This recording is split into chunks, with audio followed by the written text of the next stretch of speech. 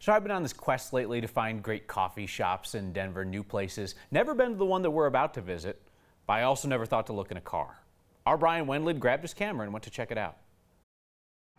Take one of those, you got it. Owning a coffee shop has its challenges. I started off over on Wewatta, and then I just suddenly just made my way over here. But running this place leads to issues most baristas don't have to worry about. I do have to watch how much I drink because there is no restroom in here. Matthew Pendleton is a mobile barista. He got the idea for On the Road Coffee when he saw a similar business on a trip to Thailand. Three weeks after I got back, I bought this beetle and just slowly started putting it together.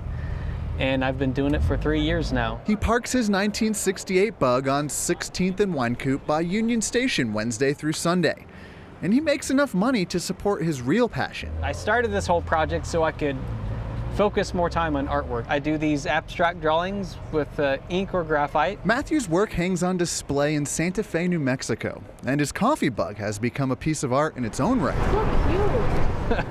yeah, every day is picture day. Even people who don't want coffee stop by. I mean, I'm glad to put a smile on people's faces. Um, just for doing a simple thing. Three years in, even the biggest challenges haven't slowed Matthew down. I've had my generator stolen before right here. Uh, that's one thing I've, I've, I've, witnessed. The positives of running a coffee shop out of a car like this tend to outweigh the negatives. There's plenty of good things that I've seen. Um, just simply people having a good time. Um, just walking around, just enjoying themselves. And when you love what you do, nice, thank you. Even the slow days in a small car seem to go by fast. Yeah, there we go. For next, Matthew, thanks again. I'm Brian Wendland.